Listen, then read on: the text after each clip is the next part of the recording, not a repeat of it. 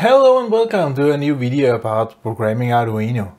This time we want to connect our Arduino the first time with our computer yeah? and we want to see if we can upload one of our programs. This is the goal of this video. So we have installed the Arduino IDE and we have opened it. It should look somehow like that what you see here. Yeah? So there are two things written, void setup and void loop. Huh? What's that? Well, this is so-called C++ syntax. Uh, C++, you can define so-called functions, okay? And these functions usually have a type of return type. Yeah, this is what you're writing in front. Yeah? So for instance, int would be so-called integer value, yeah, so a, a, number without commas, integer, yeah. If I would define now a function, int would be the return value, yeah. Then I need a function name, yeah, and I will call this function, I don't know, age, age. I can select simply a name, yeah. I can simply select a name. That's it. Then I could give also some arguments. Yeah. And I will write integer yeah, year of birth. Yeah. And if I want to give a second argument, I can do it with a comma and give another int actual year. Mhm. Okay. Bah. Now the function is defined. We have a function called age. Okay. We have two arguments. One is called year of birth and the other argument is called actual year and all of them are of type integer, int it's called in C++, so numbers without commas. Eh? And then we have to define the so-called function body. This is just the name and the interface, yeah, the name and, and, and the parameters. And the function body must be written between two, two of those brackets, yeah? these pointy brackets. Yeah? That's a function. Yeah? And here, this slash slash, this is starting a so-called comment. Yeah? This is not, I can read, this is a comment. Here I can note anything I like. This is not taken into account. Whatever I write here, I can leave notes for me, uh, for somebody else who want to maintain my code, so on. Yeah? So, and a, a function usually returns something. In this case, it shall return the age. So I will, the last line, I will write return, okay, return, and then what I want to return. And I want to return the actual year minus the year of birth.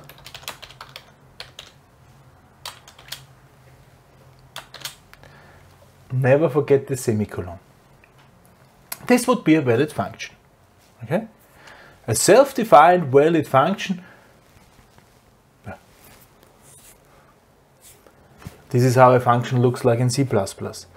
And we have two functions already predefined in our Arduino code. This is the setup function and the loop function. And you see, both are returning void, so nothing. Uh, they're returning nothing. And in both, the Arduino IDE even gives us already some hint what this is. Put your setup code here to run once and then put your main code here to run repeatedly. What does it mean? If I'm using the Arduino and plug it to a power source, yeah, it will wake up. And the first thing which the Arduino will be doing is going to the setup yeah, and execute whatever is coded inside there. Yeah. We will learn how to code. This I will show you. Yeah. So whatever is there, it will jump to setup, execute the whole setup, If it's finished with setup, it will jump to the loop, execute everything which is coded in loop. If it's finished with loop, it will start loop again. This is why it's called loop. Loop will run over and over again. The whole time this thing is connected to the power source, loop will be executed. So one time setup, other times loop. This has, of course, a, uh, an idea behind it. I will get to this. So actually, I will remove this here now. Or, what is always a good idea, huh? is to save stuff. Uh, if a rule which will never get old is save often, save early. To save something, you can press here the save button, yeah, or in the file menu, file save, save as. Yeah, you should know this. You're not new to computers at all. So I will press save. I will call it under under programs. I will choose a name and I will call it three. I will start with the class name. Use three A AHMBI. Yeah. Then I will use my name. This is my my first program. Yeah. I'll call it the first program. yeah. Right? Save. Now it's saved. You can see it even changed the name here. That's it. Huh? So let's say I want to download this. It does not. What does it do? Nothing. Yeah. In the setup, there's nothing inside. In loop, there's nothing inside. Well, I've defined a function which will never be called somewhere, but it, this program simply does nothing. Okay. So how to get this program now to my Arduino? Yeah? My Arduino is lying here.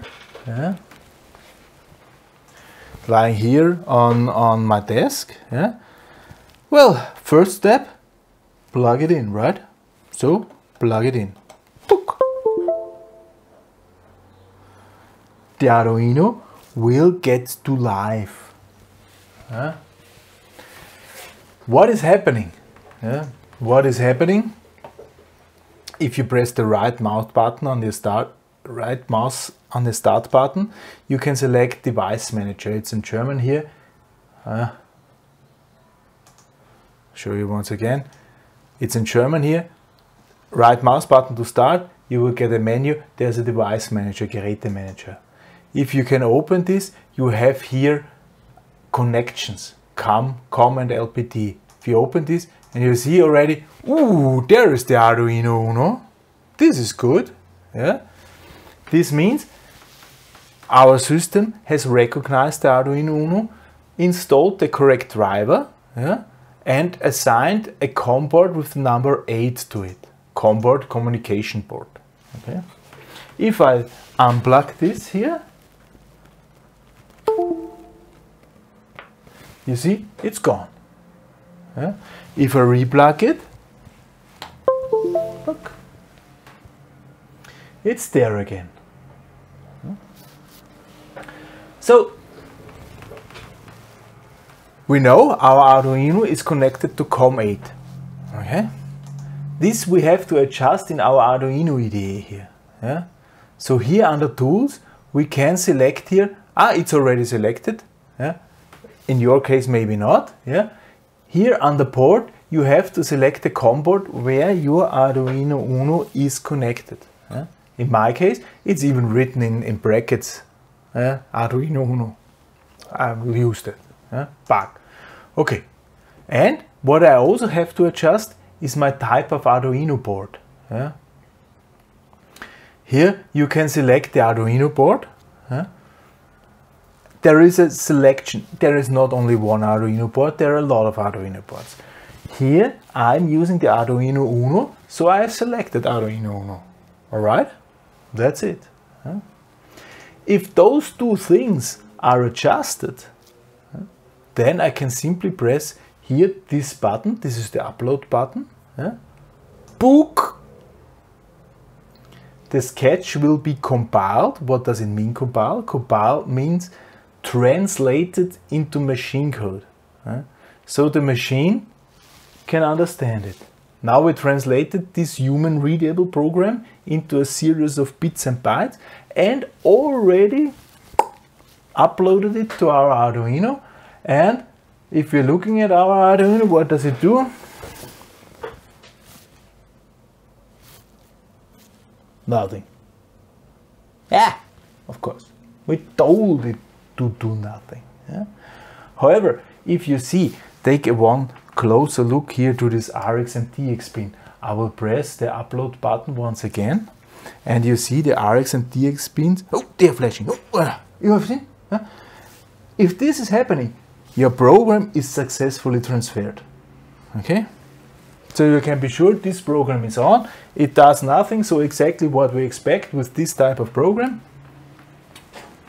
Well, this is how you download. Yeah? So we are now ready. Yeah, we know what the hardware is, we know why we have to use it, we have installed the IDE, we can upload a program from our computer to the Arduino, so we can now really start to code something yeah, to make something more useful than say, please do nothing. Okay. And this we will do in next video. Next video we'll do the simplest simplest thing, a so-called blink sketch. Yeah, typical beginning example, but it doesn't really matter. Uh, this is how you start, blink sketch. Next video for this time. Thank you very much for listening. Goodbye.